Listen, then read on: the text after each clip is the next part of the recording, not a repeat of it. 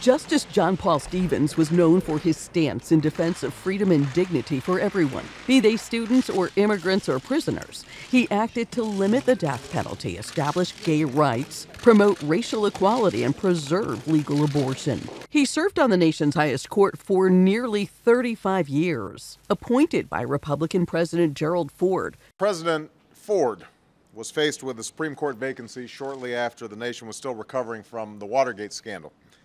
He wanted a nominee who was brilliant, non ideological, pragmatic, and committed, above all, to justice, integrity, and the rule of law.